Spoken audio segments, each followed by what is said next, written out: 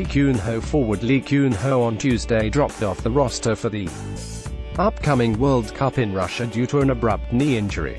The veteran striker with Gangwon FC injured his right knee during a K-League match against Jeonnam FC last Saturday and will be sidelined with a torn ligament for the next six weeks.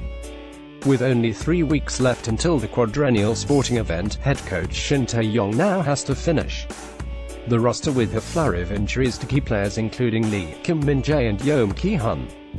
It's too bad we lost yet another veteran player, said Shin. I still believe that we can have good results if players make the extra effort.